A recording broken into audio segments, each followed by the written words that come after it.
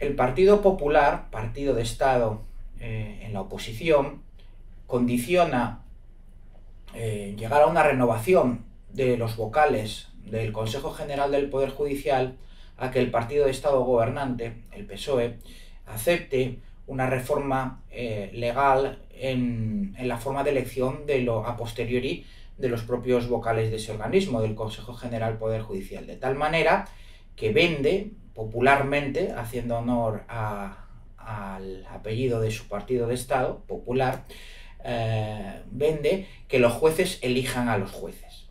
Esto es una solemne tontería. Y si bien eh, pudiera achacarse en principio al desconocimiento, en realidad no lo es tanto.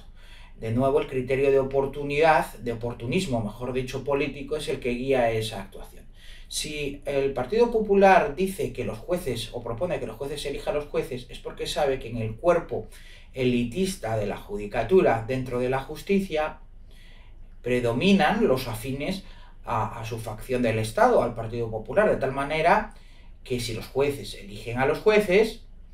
pues lo común y lo normal es que esa clase eh, dentro de la justicia mm, tradicionalmente conservadora, pues perpetúe los intereses de esa parte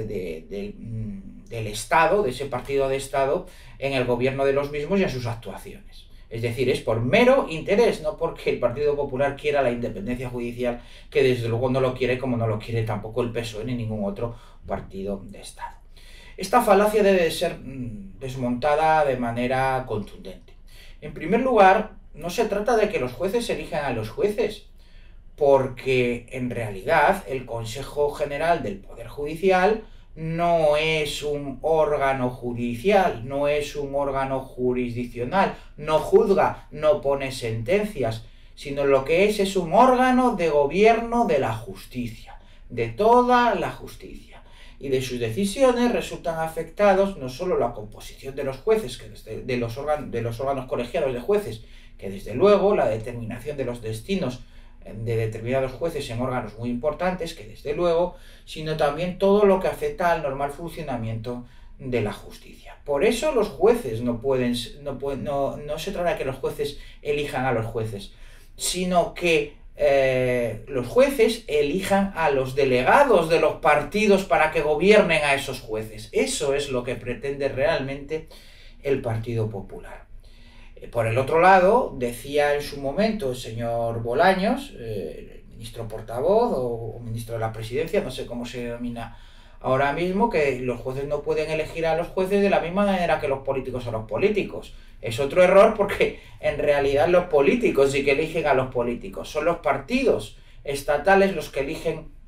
a, a aquellos que tienen que integrar las propias listas de los partidos. En definitiva, en España los, los políticos ya eligen a los políticos, como dediqué un programa específicamente a tratar esta cuestión. Por tanto, una cosa es la elección de los jueces, volviendo a lo que eh, falsamente está intentando vender el Partido Popular, una cosa es la elección de los jueces y otra la del órgano de gobierno de eh, la justicia. A los jueces no los elige nadie, sino que los elige una oposición excepto cuando se acude al nefasto sistema del cuarto turno, también para enchufar a los afines de los partidos políticos en, la jurisdicción. En consecuencia, si los jueces no eligen a los jueces, ni los jueces deben elegir el órgano de gobierno de los jueces, porque es más amplio que, el dictado o hace, hace mención a algo más allá más grave y que engloba desde luego la función jurisdiccional, pero que rige todo el gobierno de la justicia, ¿quién debe elegir a ese órgano de gobierno de la justicia? Pues bien, esta cuestión quedó resuelta en la teoría pura de la República de don Antonio García Trevijano, al tratar la facultad jurisdiccional y el Consejo de Justicia, la presidencia del Consejo de Justicia. El órgano de gobierno de los jueces debe ser elegido por todo el orbe judicial, no solo por jueces, en tanto que a todos ellos afectan esas decisiones de gobierno. Y además son las personas, tratándose el español de un derecho codificado y en consecuencia susceptible de interpretación judicial, no de creación judicial, eh, deben intervenir todos los operadores jurídicos. Desde jueces, por supuesto, magistrados, fiscales, abogados, procuradores, notarios, registradores, profesores de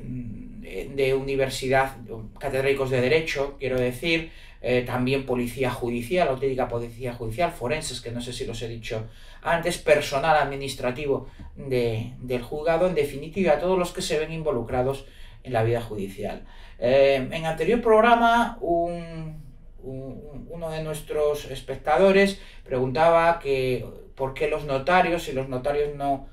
no intervienen en la vida judicial? Pues precisamente por lo que acabo de decir, porque la justicia es más que la vida judicial y las decisiones del órgano de gobierno de la justicia afectan a su, a su globalidad. De hecho, los notarios eh, interpretan el derecho, aplican el derecho en, expedientes como los de la jurisdicción voluntaria y deben manejar el derecho pues diariamente pues, eh, en cuestiones tan complejas como las hipotecarias o como las, las hereditarias o las que afectan al derecho de las personas. En definitiva, no solo los jueces deben intervenir en la elección del gobierno de los jueces, sino todo el mundo jurídico. Con ello, además, se evita lo que pretende el Partido Popular en esa nefasta eh, propuesta de que los jueces elijan el gobierno de los jueces, que es lo que en realidad están diciendo. Y es que con ello se se acaba con el elitismo de una parte del mundo de la justicia como son los jueces y los magistrados. No tenemos más que ver, por ejemplo, a título de, ejemplo, cómo se organiza un juzgado o qué personas componen el personal de un juzgado, todas ellas intervendrían en la elección de esa presidencia del Consejo de Justicia, para ver que los jueces son franca minoría. En un juzgado habrá un juez, habrá un letrado de la Administración de Justicia y habrá, por ejemplo, muchos funcionarios de la Administración de Justicia, tramitadores procesales eh, y personal administrativo, en definitiva, eh, llevando el día a día de los expedientes. Pues bien, el voto del juez de ese juzgado vale exactamente lo mismo que el de un funcionario tramitador del mismo, por lo cual serían incluso franca minoría en la elección de esa presidencia del Consejo de Justicia, quedando así garantizado la neutralización de ese elitismo que es lo que pretende en definitiva el Partido, eh, el, Partido Popular. Por tanto, ni los políticos deben elegir a los jueces, que ya eligen de por sí mismo a los políticos, ni deben elegir al órgano rector de los designios de la justicia, ni tampoco existe motivo alguno para que lo hagan los propios jueces como una eh, clase privilegiada dentro de ese mismo mundo de la justicia.